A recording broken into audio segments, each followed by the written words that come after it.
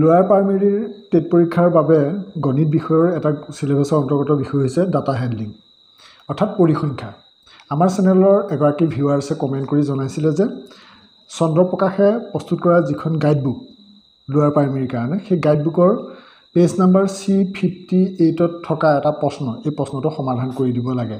আৰু প্ৰশ্নটো যিহেতু গুৰুত্বপূৰ্ণ মই সেইবাবে ভিডিঅ'ৰ যোগেদি সকলোৱে জ্ঞাতাৰ্থে মই দিব বিচাৰিলোঁ।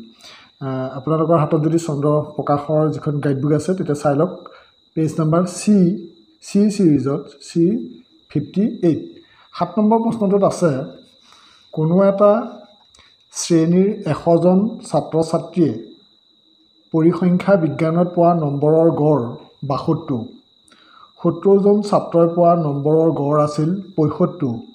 ছোৱালীবিলাকৰ গড় নম্বৰ নিৰ্ণয় কৰা। প্ৰথমতে প্ৰশ্নটো বুজি ল'ব লাগিব আৰু এনেধৰণৰ প্ৰশ্ন পৰীক্ষাত অহাৰ সম্ভাৱনা আছে। হয়তো সংখ্যাটো বেলেগ হ'ব পাৰে নিয়মটো একেই হ'ব গতিকে আপোনালোকে খুব গুৰুত্ব দি বুজিব বুজিবলৈ চেষ্টা কৰিব মই যিমান পাৰি সহজকৈ বুজাই দিবলৈ চেষ্টা কৰিম। এতিয়া আমি প্ৰথমতে চাম যে ইয়াত কৈছে কি যে কোনো এটা শ্ৰেণীৰ এশজন ছাত্ৰ ছাত্ৰী আমি প্ৰথমতে আমি ধাৰণাটো কৰি লওঁ যে গোটেই ক্লাছটোত ষ্টুডেণ্ট কিমান আছে এশজন আছে আমি কথাটো প্ৰথম মনত সোমোৱাই লওঁ যে ক্লাছটোত ষ্টুডেণ্ট কিমান আছে এশজন আছে। এতিয়া পৰিসংখ্যা বিজ্ঞান এই বিষয়টোত তেওঁলোকে তেওঁলোকে এশজন ছাত্ৰই যিমান নম্বৰ পাইছিলে সেই নম্বৰখিনিৰ গড় হ'ল বাসত্তৰ। তাৰমানে এভাৰেজ ছেভেণ্টি টু পাইছে। প্ৰতিজনেতো ছেভেণ্টি টু নাই পোৱা। কোনোবা এজনে নাইণ্টি পাইছে কোনোবা এজনে ফিফটি পাইছে কোনোবা এজনে ছিক্সটি পাইছে এনেকুৱা নহয় জানো? গতিকে আমি গড় কেনেকৈ উলিয়াওঁ? গতিকে মুঠ যিটো সমষ্টি হয় তাক আমি সেই ছাত্ৰ ছাত্ৰীৰ সংখ্যাই আমি হৰণ কৰিম। তাৰমানে এশজন ছাত্ৰ ছাত্ৰীয়ে পৰিসংখ্যা বিজ্ঞানত যিমান নম্বৰ পাইছে সেই নম্বৰখিনি যদি আমি যোগ কৰি তাক এশই হৰণ কৰোঁ তেতিয়া আমি বাসত্তৰ পাম মানে এভাৰেজটো বাসত্তৰ। তেতিয়াহ'লে আমি ইয়াৰ পৰা উলিয়াব পাৰিম যে গোটেই ক্লাছটোত এশজন ছাত্ৰ ছাত্ৰীয়ে কিমান নম্বৰ পাইছে? এশজন ছাত্ৰ ছাত্ৰীয়ে ষ্টুডেণ্ট যিহেতু এশজন তেওঁলোকৰ এভাৰেজটো কিমান বাসত্তৰ? যিহেতু এশজন ছাত্ৰ ছাত্ৰীৰ বাসত্তৰ হৈছে মানে এভাৰেজটো বাসত্তৰ আৰু ছাত্ৰ কিমান? ছাত্ৰ ছাত্ৰী এশ। গতিকে মুঠ নম্বৰ কিমান হ'ব? বাসত্তৰ পূৰণ এশ সমান সাত হাজাৰ দুশ। এইটো এইটো আপোনালোকে বুজি পাইছে? মই কেনেকৈ কৰিছিলোঁ বুজি বুজি পাইছেতো? আমি গড়টোক মুঠ ছাত্ৰ ছাত্ৰীয়ে পূৰণ কৰি দিলোঁ।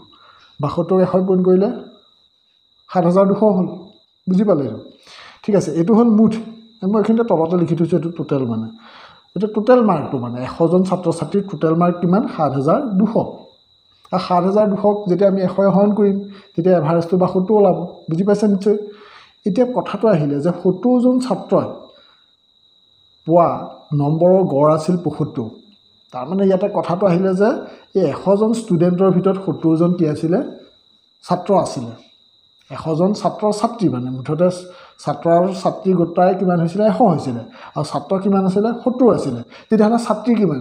ত্ৰিছ এশৰ পৰা সত্তৰ গ'ল ত্ৰিছ আপোনালোকে কথাটো বুজি পাইছে যে এশজন ষ্টুডেণ্ট থাকিলে তাৰ যদি সত্তৰজন বইজ হয় গাৰ্লছ কিমান হ'ব? থাৰ্টি হ'ব। বুজি পাইছে? যিয়ে নহওক এতিয়া আমাৰ সত্তৰজনৰ গড় নম্বৰ কিমান? আমি তেতিয়াহ'লে আমি ছাত্ৰৰ আমি টোটেলটো উলিয়াওঁচোন। টোটেলটো কেনেকৈ উলিয়াম? তো আমি মুঠ মুঠ ছাত্ৰ ছাত্ৰীৰ যিটো মানে নম্বৰ কেনেকৈ উলিয়ালোঁ? ছাত্ৰ ছাত্ৰীৰ সংখ্যা পূৰণ গড় সমান সাত হাজাৰ দুশ। এতিয়া সত্তৰজন ছাত্ৰ ছাত্ৰীৰ মুঠ নম্বৰ কিমান হ'ব? ছাত্ৰ ছাত্ৰী নহয় সত্তৰজন ছাত্ৰ মানে আমি বইজ বুলি ক'ম তেতিয়া ভাল হ'ব। যে সত্তৰ বা সত্তৰজন ল'ৰাৰ সত্তৰজন ল'ৰাৰ মুঠ নম্বৰ কিমান হ'ব? সত্তৰ পূৰণ পঁয়সত্তৰ। সত্তৰটো কি হ'ল? আমি ক'ব পালোঁ সেইটো হ'ল ল'ৰাৰ সংখ্যা মানে। আৰু পঁয়সত্তৰটো কি? সিহঁতৰ গড় সংখ্যাটো। এতিয়া যদিহে আমি সত্তৰ পঁয়সত্তৰে পূৰণ কৰোঁ তেতিয়া কিমান হ'ব? সাত পাঁচ গুণ পঁয়ত্ৰিছৰ পাঁচ হ'ল এইফালে হাতে আহিলে তিনি সাত সাত ঊনপঞ্চাছ হ'ল পঞ্চাছ একাউণ্ট বাৱন্ন। হ'ল ফাইভ টু ফাইভ জিৰ' একেলগে বুজিছে? ফাইভ টু ফাইভ জিৰ' অৰ্থাৎ পাঁচ হাজাৰ দুশ পঞ্চাছ। এই এইটোতে আমি কি পালোঁ ন? এইটো হ'ল মুঠ ষ্টুডেণ্টৰ নম্বৰ মানে ছাত্ৰ আৰু ছাত্ৰী। এইটো হ'ল অকল ছাত্ৰ। সেইটো আমি বইজ বুলি লিখি দিছোঁ হে। বইজৰ টোটেলটো হ'ল এইটো। ইয়াত কি আছে? গোটেই ছাত্ৰ ছাত্ৰী ইয়াত কি আছে? অকল ল'ৰাখিনিৰ। ছাত্ৰখিনিৰ মানে হ'ল? এতিয়া আমি এই মুঠৰ পৰা ছাত্ৰৰ নম্বৰটো বিয়োগ দি দিব লাগিব। মানে সাত হাজাৰ দুশৰ পৰা কি বিয়োগ দি দিম? সাত হাজাৰ দুশৰ পৰা পাঁচ হাজাৰ দুশ পঞ্চাছটো বিয়োগ দি দিব লাগিব। বুজি পাইছে? আপোনালোকে যাতে সহজে বুজি পায় মই লাহে লাহে কথাখিনি কৈ দিছোঁ সেইকাৰণে। এতিয়া সাত হাজাৰ দুশৰ পৰা আমি কি বিয়োগ দিম? পাঁচ হাজাৰ দুশ পঞ্চাছ বিয়োগ দিম। বিয়োগ দিলে কি হ'ব? মই বেলেগ বেলেগ কাগজত কৰি দেখাইছোঁ। এইটো হ'ল সাত হাজাৰ দুশ বিয়োগ কিমান আছে? Five two five zero' five two five zero' যদি বিয়োগ দিওঁ তেতিয়া কিমান হ'ব? এইফালে ন থাকিলে এইফালে আহিলে ছয় পাঁচডাল থাকিলে এক। তাৰমানে আপোনালোকে কি বুজিলে? যে মুঠ মুঠ ষ্টুডেণ্টৰ নম্বৰ কিমান? বাসত বাসত্তৰ পূৰণ এশ। এশ হ'ল ষ্টুডেণ্ট মানে। বাসত্তৰ পূৰণ কৰিলে সাত হাজাৰ দুশ হ'ল। নেক্সট ল'ৰা কিমান আছিলে? ছেভেণ্টি আছিলে। সিহঁতৰ এভাৰেজটো কিমান আছিলে? ছেভেণ্টি ফাইভ আছিলে। ঠিক আছে ছেভেণ্টি ফাইভ এতিয়া আমি পূৰণ কৰিলে কিমান হ'ল? ফাইভ টু ফাইভ জিৰ' এতিয়া আমি বিয়োগ দি দিলোঁ। তাৰমানে এইটো হ'ল টোটেলটো মই আপোনালোকে বুজিবৰ কাৰণে লিখি দিছোঁ। এইটো হ'ল টোটেল আৰু এই তলৰটো হ'ল কি? বইজ এতিয়া বিয়োগ কৰি দিয়াৰ লগে লগে যিটো ওলালে এইটো কি হ'ব? এইটো গাৰ্লছৰ ওলালে। মানে ছাত্ৰীৰ টোটেলটো এইটো ওলালে। হ'ল এইখিলৈকে বুজিলে? আচ্ছা এতিয়া ছাত্ৰীৰ সংখ্যাটো কিমান? ত্ৰিছ। কাৰণ এশজন মুঠতে ছাত্ৰ ছাত্ৰী আছিলে তাৰ যেতিয়া সত্তৰজন ছাত্ৰ হ'ল ছোৱালী কিমান হ'ল? মানে গাৰ্লছ কিমান হ'ল? ত্ৰিছ হ'ল। গতিকে আমি ত্ৰিছে ইয়াক গ্ৰহণ কৰি দিওঁ। ত্ৰিছে ইয়াক গ্ৰহণ কৰিলে শূন্য শূন্য কটাকটি গ'ল। তিনি এইটো গ্ৰহণ কৰিলে তিনি ছয় গুণ। ওঠৰ হ'ল এক ইফালে গ'ল। পোন্ধৰ হ'ল তিনি পাঁচ গুণ পোন্ধৰ। গতিকে এভাৰেজটো কিমান হ'ব? Sixty five. বুজি পাইছে কথা- কথাটো? ইয়াৰ শুদ্ধ উত্তৰটো অপশ্যন চি ছিক্সটি ফাইভ। যদি আপোনালোকে অংকটো বুজাত কিবা অসুবিধা হৈছে অংকটো আকৌ এবাৰ চাব। বৰ জটিল নহয় আপোনালোকক মই আপোনালোকে টান পায় বুলি মই যিমান পাৰি সহজকৈ বুজাই দিবলৈ চেষ্টা কৰিম।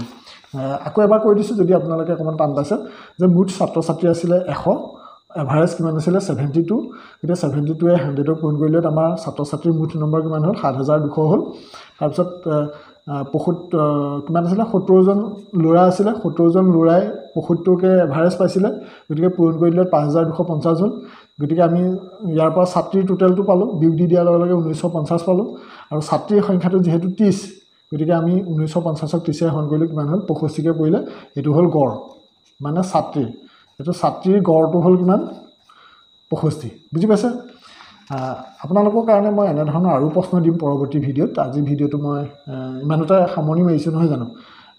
আপোনালোকে এইটো বুজি লওক আৰু এনেধৰণৰ আপোনালোকে অংকবিলাক কৰিবলৈ চেষ্টা কৰক। আৰু যদি কিবা বৰ জটিল পাইছে তেতিয়াহ'লে কমেণ্ট ছেকশ্যনত লিখিব কোনটো অংক কৰি দিব লাগে মই আপোনালোকক কৰি দিবলৈ চেষ্টা কৰিম।